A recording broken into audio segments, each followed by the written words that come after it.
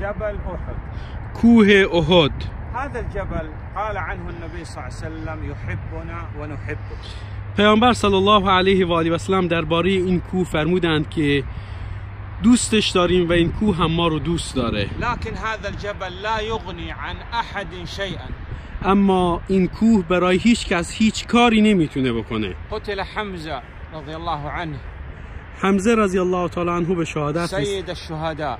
همو که به سید ولم يغني ملقب هست. شيئا اما این کوه کوه احد هیچ کاری نتونست براش انجام بده. فلا يمكن أن يتمسح بحجارة هذه الجبال. و از این رو درست نیست که به خاک و سنگ و سنگریزه های این کوه تبرک بجوییم.